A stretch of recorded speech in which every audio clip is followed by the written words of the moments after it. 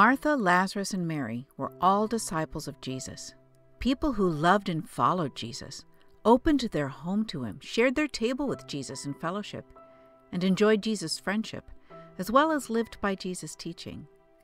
Each had their own unique relationship with the Lord, yet together, as a family, they displayed all the aspects of a church. Especially the sisters Martha and Mary teach you and me about blessing God as a whole body of believers. In studying the Bible, learning the doctrines of the Christian faith, that does not make a person wise or strong in their faith. In fact, wisdom is not about knowing. Wisdom is about using what you know. In spiritual terms, the wise person is the one who lives out the truths they know, not necessarily the Bible scholar and the theologian. This came home to me in a really particular way when I was reading Alan Hirsch's seminal book, ReJesus. Among the many wise things in this book is the concept of balance between three areas of faith orthodoxy, which we're probably the most familiar with, that's right principles and right thinking guided by Scripture. Orthopathy, which we're probably the least familiar with, is right passion, right feelings, the love and joy the Bible talks about. And then orthopraxy is right practice, doing good works. Alan Hirsch pointed out that when these three elements become imbalanced, we notice. The imbalance of orthopathy, for example, overemphasizes spiritual experiences. It's, it's this emotion filled worship and prayer time and, that make faith and relationship with God feel like it's fading when those experiences are missing. It's an imbalance. Then, an imbalance of uh, orthopathy downplays the importance of right thinking or Bible study and the importance of right doing, the work of service and of obedience to God. They may put a high value on love and joy and of spiritual ecstasy, but it doesn't translate into a mature, lived out faith when it's imbalanced. But you know, the scales can tip in other directions too. An imbalance of orthopraxy, for example, creates that burned out do gooder who has used up all their energy in doing good deeds and serving other people and sacrificing everything, but without that sense of connection or orthopathy, which is very important when it's in balance to God's love and grace and power, but also without applying scriptural wisdom, which is to say knowledge, to priorities and opportunities. So orthodoxy is important. But an imbalance of orthodoxy can drift into legalistic rules and law oriented faith, valuing doctrine over mystery, and justice over mercy, and law over love, and being right over being gracious. Judgmentalism begins to edge out orthopathy and orthopraxy when there's this imbalance, and then we forget Jesus' table was open to everyone in fellowship. So, balance is very important between these three elements of faith. And we might say Martha brought in the importance of right doing in her service to the Lord and in right thinking as Jesus developed her faith in knowing the truth about his divinity. And now enter Mary, who said few words, but whose passion and practice made a deep and lasting impact on Jesus' heart and our understanding of discipleship. And we see her first sitting at the feet of Jesus then we see her kneeling at his feet, and finally, we see her anointing his feet. So let's begin with Mary sitting at the feet of Jesus. Now, as they went on their way, he entered a certain village where a woman named Martha welcomed him into her home. She had a sister named Mary, who sat at the Lord's feet and listened to what he was saying. There is strong evidence in Luke's Gospel that many women followed Jesus as his disciples, traveling with him evangelizing and supporting Jesus' ministry out of their own, not only means, which is to say their own financial means, but also their own means, which is to say their own gifts and their own abilities. And they functioned in many ways uh, the way disciples traditionally served. It seems Mary also took her place among these disciples, recognizing Jesus as her rabbi. It took great courage for these women, several of them like Mary who were single, to step outside the boundaries of their culture and their religious mores to align themselves with Jesus' movement. They had pioneering spirits, but even more so, they were passionately devoted to God and therefore to Jesus. And it seems Martha and Mary were also Jesus' disciples, but they did not seem to be of one mind in how they were to minister to Jesus. Martha was distracted by her many tasks, so she came to him, Jesus, and asked, Lord, do you not care that my sister has left me to do all the work by myself? Tell her then to help me. Jesus loved Martha, and he empathized with her. Her orthopraxy was taxing. Opening her home to him and to all his followers, especially when they came unexpectedly, certainly did require the many things that were distracting her. But Jesus did not agree with Martha's thinking. The Lord answered to her, Martha, Martha, you are worried and distracted by many things. There is need of only one thing. Mary has chosen the better part, which will not be taken away from her.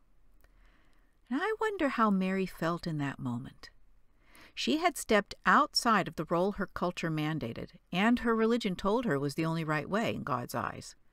But she'd been listening to Jesus' teaching, and Jesus was changing how she understood the scriptures and God's wisdom.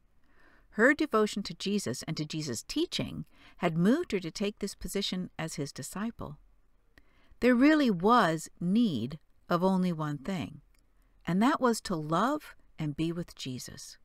Martha's expression of love came in gifts of food and in acts of service, but Mary's expression of love was in giving her time and her touch, sitting at Jesus' feet, receiving his teaching. And then the next time that we see Mary, she is again at Jesus' feet. Now a certain man was ill, Lazarus of Bethany, the village of Mary and her sister Martha. Mary was the one who anointed the Lord with perfume and wiped his feet with her hair. Her brother Lazarus was ill. When John wrote this gospel, the story of a woman anointing Jesus' feet had already become well known, circulating around, and John now alerted his readers it was Mary of Bethany. Knowing that would help John's audience understand Mary's and Jesus' very deep connection, as well as Mary's spirituality and her keen sensitivity. They were a well to do family, owning their own home, and evidently they even had a private family tomb. And the Lord had eaten many meals at their house, and he had spent many nights there too, and it seems as though Bethany was kind of a sanctuary for Jesus and his disciples. So the sisters sent a message to Jesus Lord, he whom you love is ill.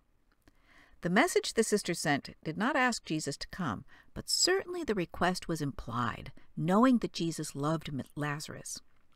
Yet by the time Mary and Martha's servants had reached Jesus with the news of her brother's illness, Lazarus was probably already dead. Jesus immediately recognized this was an opportunity for God's glory, so he gave the messengers a reply to take back. This illness does not lead to death. Rather, it is for God's glory, so that the Son of God may be glorified through it.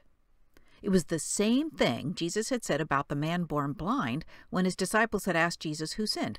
Had the man sinned? Is that why he's blind? Or had his parents sinned? Neither, Jesus had replied. This situation is an opportunity for God to be glorified. Imagine the sisters' tears when they received Jesus' message. By now, they'd already placed their beloved brother in his tomb.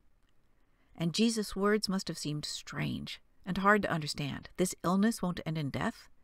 Because Lazarus was dead. Maybe they thought Jesus was comforting them with the thought that Lazarus was going to be with God. Accordingly, though Jesus loved Martha and her sister and Lazarus, after having heard that Lazarus was ill, he stayed two days longer in the place where he was.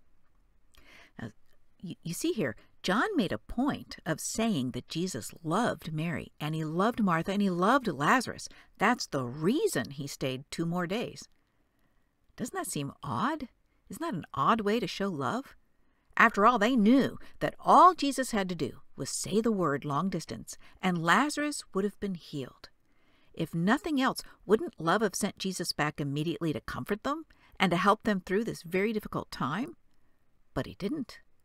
Because he loved them, he stayed away another two days before he and his disciples made their way to Bethany. And when Jesus arrived, Mary had already seen him coming, and so she ran out to him, and the conversation they had brought out revelation Jesus had never before given. I am the resurrection and the life. Those who believe in me, even though they die, will live, and everyone who lives and believes in me will never die. It must have been electrifying to hear those words. Filled with wonder and excitement, Martha went back and called her sister Mary and told her privately, maybe hoping Mary would have the same intimate moment alone with Jesus that Martha had just had, a profound moment that would change everything. The teacher, and they called Jesus Rabbi because they were his disciples, is here and is calling for you. And when she heard it, when Mary heard it, she got up quickly and went to him. And now Jesus had not yet come to the village, but was still at the place where Martha had met him, and that was probably to allow for that private moment to happen. But the Judeans who were with her in the house, consoling her, saw Mary get up quickly and go out, so they followed her because they thought she was going to the tomb to weep there. The mourners thought she was going back to the tomb because it was the custom to go to the tomb as often as possible during these first days of mourning. And it does say something about Mary that all the mourners, these were important people, people down from Jerusalem. These were the Jerusalem elite and the wealthy people from Jerusalem. And there were scribes and Pharisees and all kinds of really important people. All these mourners were gathered around her. Whereas Martha was alone and could move in and out of the house and even in and out of the village, apparently, without much notice. Mary was attractive, maybe beautiful, but certainly, at least in her character and in her person, she was compelling. And without realizing it, without trying, Mary led this whole company of Jewish religious leaders and Jerusalem elite to Jesus. And then, overcome with both love and devotion to Jesus, her teacher, yet also abject grief over her brother and Jesus' beloved friend, she fell at Jesus' feet, saying the same thing Martha had said earlier Lord, if you had been here, my brother would not have died. Her humbled place at his feet portrayed her trusting humility. It was a statement of faith as well as an expression of hurt. When Jesus saw her weeping, and the Judeans who came with her also weeping, he was greatly disturbed in spirit and deeply moved. He said, Where have you laid him? And they said to him, Lord, come and see. And Jesus began to weep. The spiritual and emotional connection Mary had with Jesus went deep.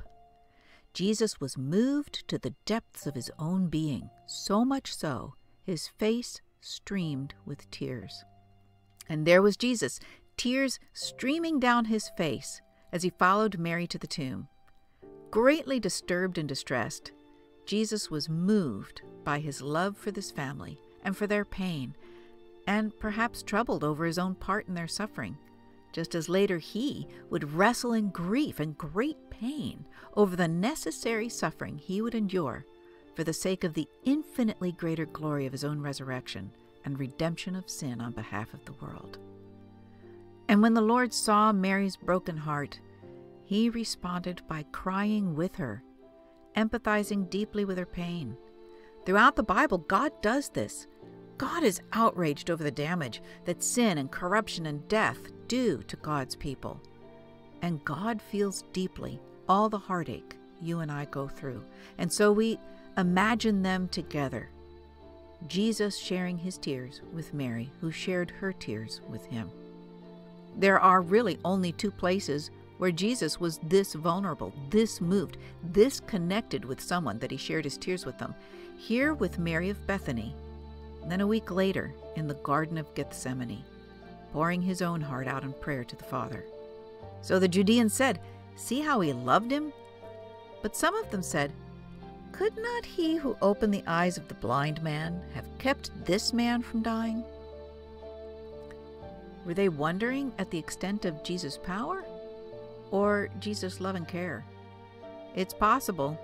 They had already been asking these questions, and that's why Mary and Martha had both said to Jesus, If only you'd been here. Imagine Martha and Mary now, walking on either side of their rabbi and Lord, as they made their way to the family crypt. The third day had come and gone, and now the stone had been placed over the door. Lazarus was truly dead and gone, beyond even the faint hope of resuscitation. Now think of their gasps when the stone was taken away and their brother was returned to them alive. Many of the Judeans, therefore, who had come with Mary and had seen what Jesus did, believed in him. And now we come to the story John referred to earlier when he was describing the raising of Lazarus. John was identifying who Mary was for his readers because they already knew about the anointing of Jesus from the three other Gospels, which were already circulating. But they may not have known who the woman was. Now John was setting the record straight, along with adding in some more details. Jesus had been keeping a low profile in Ephraim, some distance away from Jerusalem, for about a month or so after Lazarus' resurrection. Now, as the feast of Passover was approaching, Jesus came back to Bethany to stay until Passover, just six days away. The way John writes it, it sounds like this dinner was given in honor of Jesus by all the locals, maybe all those who'd been there when Lazarus was raised from the dead. We know that Simon the leper, probably someone Jesus had healed, was the host. Martha was serving the meal, and besides Jesus and his disciples, there were other guests, including Lazarus. Like, it sounds like a big party, actually.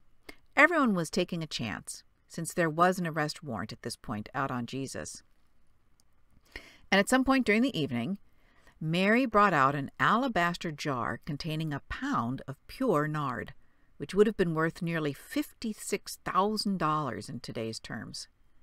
Nard was an aromatic oil that came from the resin of a plant that at that time grew only in India, and it was something she had apparently been saving for a while. The other Gospels note that Mary first poured the perfume on Jesus' head, which is reminiscent of when prophets would anoint kings of old. Now, the word both Gospels used that describe this is not the same word used for anointing, but Mary's action must have looked similar. And John added that Mary also anointed Jesus' feet. In the next chapter, Jesus would wash his disciples' feet in an echo of what she did for him. As the oil poured out, she loosened her hair and wiped up the excess so that all the perfume would be on Jesus and none would drop to the floor. Months earlier, another woman had done the same thing for Jesus, crying as she wiped Jesus' feet at another function in a Pharisee's house. A woman's hair was considered her glory and was to be enjoyed by no other man than her husband. It was unthinkable to loosen her hair in an open setting.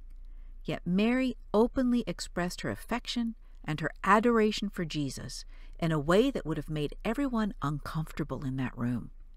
Symbolically, she linked herself with Jesus, having given to him her worldly treasure, her womanly glory, and her prospects for the future.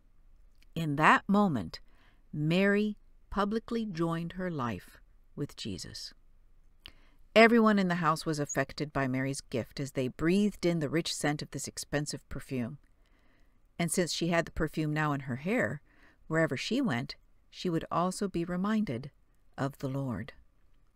In contrast to Mary's giving spirit was the action of Judas, a man driven by greed.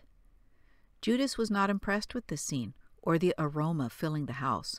All he could think of was the enormous amount of money that had been lost money he could have skimmed off for a handsome sum for, for himself.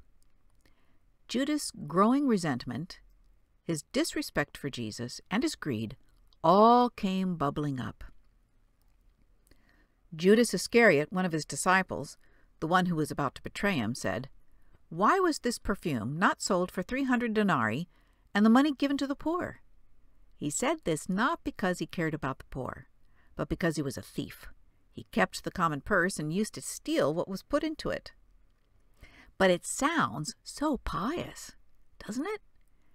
It's amazing how easy it can be to think up a good reason or good reasons to cover what are often selfish and self centered motives.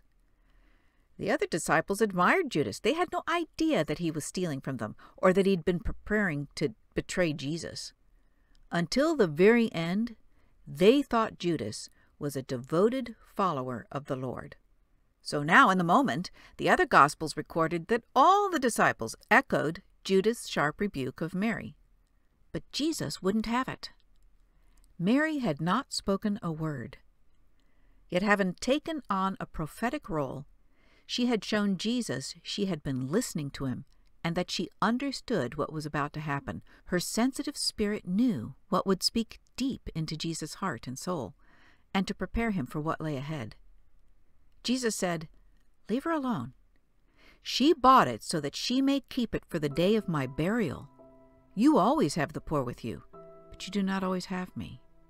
He loved Mary's gift, and he felt loved by her gift. She had given him a costly sacrifice before all, a beautiful gesture of love. Jesus also noted that what she had done was prophetic. God had intended this for Jesus. He had been telling them that he was going to die soon. He had laid before them every detail. There would be lashing, there would be the cross, three days in the tomb, and then his resurrection. Mary got it. Mary got Jesus. There are very few occasions in Scripture when Jesus felt truly seen, truly heard, truly understood, and known. This was one of those rare times. And Mary did what she could to honor Jesus and to show him she understood. Costly devotion is precious to Jesus. Mary showed her deep love and respect for her rabbi and her Lord ministering to Jesus and also joining her life with Jesus as the excellent example of a devoted disciple, the kind of disciple Jesus had asked for, one who would abide in Jesus. Judas produced a stark contrast as the anti disciple, seemingly pious, certainly admired and well respected, yet holding no love nor respect for his Lord. Mary broke many barriers for women in her first century Greco Roman world. She sat at Jesus' feet with the disciples. She called Jesus her rabbi. She received his teaching as Jesus' disciple. In this final story, with Martha again providing the setting, Mary acted both prophetically and powerfully. Her reverent and solemn performance both evoked the kingship of Jesus and at the same time evoked the funeral rite of anointing. Here was orthopraxy, orthopathy, and orthodoxy displayed in perfect and profound balance thank you